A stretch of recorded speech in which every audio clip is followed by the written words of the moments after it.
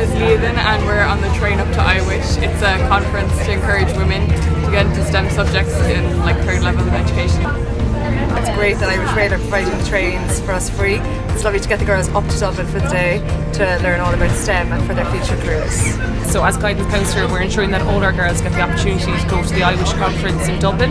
Um, it's really important for our students to get the exposure to some brilliant female representatives and role models um, in different science, technology, engineering and maths careers and hopefully to take on something like that for themselves in the future.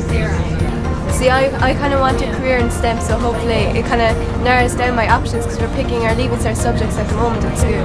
Um, I'm here today just to support the girls on their journey to the RDS. We're doing some electrical tasks. I'm just doing in like household wear and they're wearing a plug and a socket. Just testing a bit with a multimeter and just showing them the ins and outs.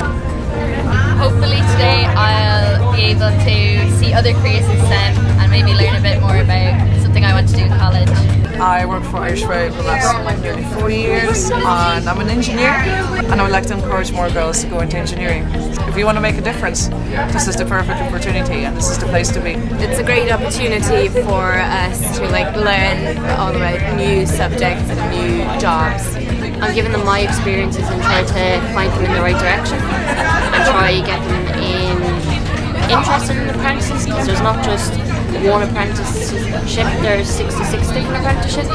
I hope that girls around Ireland will be able to see how successful women are in STEM and the next time someone's asked to name a scientist, it won't be names like Albert Einstein or, I don't know, J.J. Thomson. It'll be names like Marie Curie or Florence Nightingale.